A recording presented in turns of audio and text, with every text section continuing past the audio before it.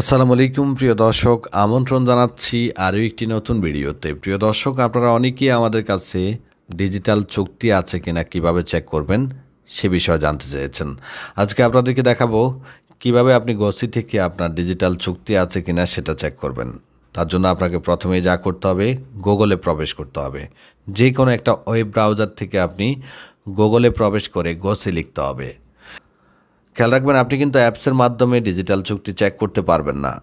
এর কারণ হলো অ্যাপস সম্পূর্ণ আরবিতে। আপনি যদি ভালো আরবি বোঝেন, তাহলে আপনি অ্যাপসের মাধ্যমে চেক করুন। আর যদি আপনি আরবি না বোঝেন, তাহলে আপনি যেটি করবেন গুগলের মাধ্যমেই গোসির অফিসিয়াল ওয়েবসাইট থেকে চেক করবেন।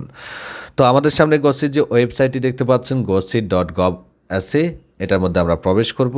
এটাতে প্রবেশ করার পরেই আমাদের সামনে দুইটা option insurance system customer portal এখানে যদি আরবি আসে, তাহলে আপনি কর্নারে দেখবেন ইংরেজি লেখা আছে ই এন এখানে চাপ দিলে ইংরেজি হয়ে যাবে।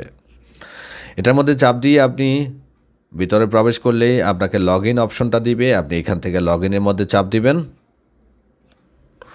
এরপরে এখানে ইন্ডিভিজুয়াল অপশনটার মধ্যে আপনাকে চাপ দিতে হবে। আপনার যদি অ্যাকাউন্ট না থাকে, তাহলে আপনি অ্যাকাউন্ট ক্রিয়েট করে নেবেন। আর যদি আপনার অ্যাকাউন্ট থাকে, অথবা আপনি যদি আপসির অ্যাকাউন্ট দিয়ে আগেই অ্যাকাউন্ট ক্রিয়েট করে থাকেন, তাহলে আপনি ইউনিফাইড অ্যাক্সেস থেকে সরাসরি লগ করতে পারবেন। তো যেহেতু আমাদের আইডি আছে, আমরা আইডি দিয়েই প্রবেশ করব এখন। অলরেডি আমরা আগে অ্যাকাউন্ট ক্রিয়েট করেছি। ইউনিফাইড অ্যাক্সেসের মধ্যে চাপ দিলেই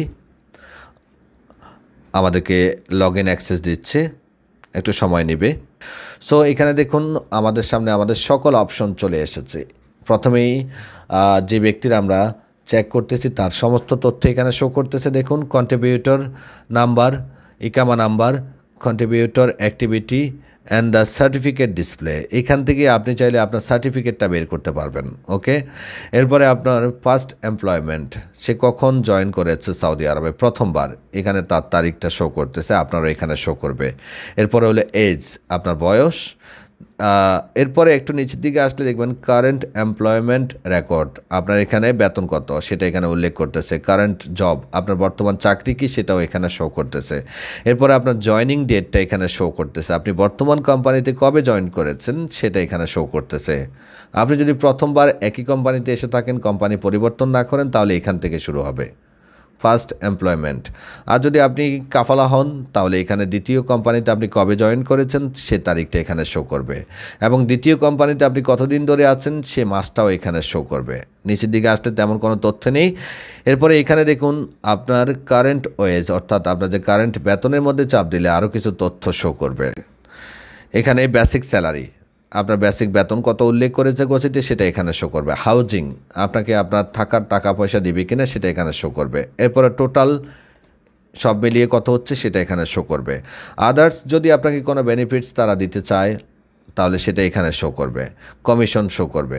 এরপরে অ্যালাউন্স এখানে, আপনার যদি অন্য কোনো অ্যালাউন্স থাকে তাহলে সেটা এখানে শো করবে। আরেকটু নিচের দিকে দেখুন ওয়েজ হিস্ট্রি এটা আসলে বেতনের হিস্ট্রির মতোই। এখানে সব কিছু বেতনের হিস্ট্রি উল্লেখ করা হচ্ছে। ওয়েজ হিস্ট্রি আপনার যে বেতন দিয়েছে, বেতনের সমস্ত তথ্য এখানে উল্লেখ করা আছে।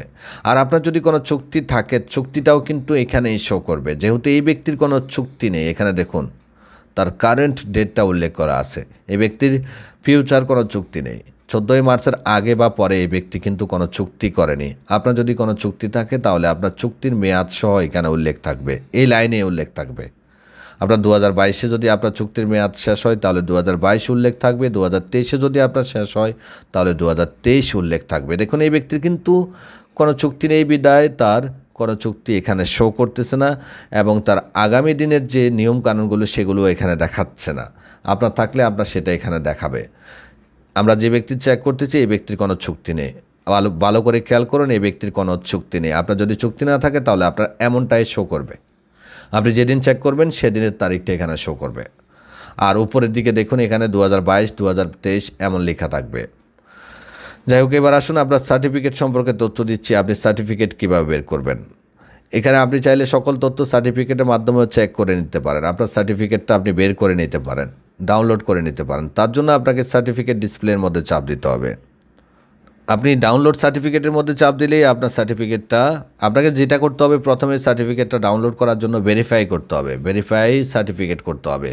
আপনার মোবাইলে একটা মেসেজ আসবে, সেই মেসেজটা দিয়ে আপনাকে ভেরিফাই করতে হবে। অথবা আপনার ইকামা নাম্বার দিয়ে আবার নতুন করে আপনাকে ইনকোয়ারির মধ্যে ভেরিফাই করতে হবে। এখানে দেখুন, ইকামা নাম্বার সার্টিফিকেট কোড এবং ক্যাপচা কোড সবগুলো দিয়ে আপনাকে ভেরিফাই করলে আপনার সামনে ঠিক এমন সার্টিফিকেটটা শো করবে। আমাদের এখানে অলরেডি সার্টিফিকেটটা চলে এসেছে, কারণ আমাদের এটা ভেরিফাই করা আছে, দেখুন। এটা হলো আমাদের সার্টিফিকেট এই হলো সার্টিফিকেট এখানে সকল তথ্য দেখাচ্ছে। আপনি সার্টিফিকেটটা ভেরিফাই করে যখন চাপ দিবেন, তখন আপনার সামনে আপনার সকল তথ্য দেখান। ধন্যবাদ, ভালো থাকবেন, সুস্থ থাকবেন, আল্লাহ হাফেজ।